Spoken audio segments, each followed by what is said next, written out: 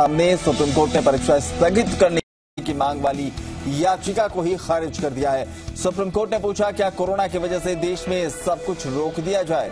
छात्रों की कीमती साल को यूँ ही बर्बाद नहीं होने दिया जाए, सुप्रीम कोर्ट की तरफ़ से टिप्पणी की गई।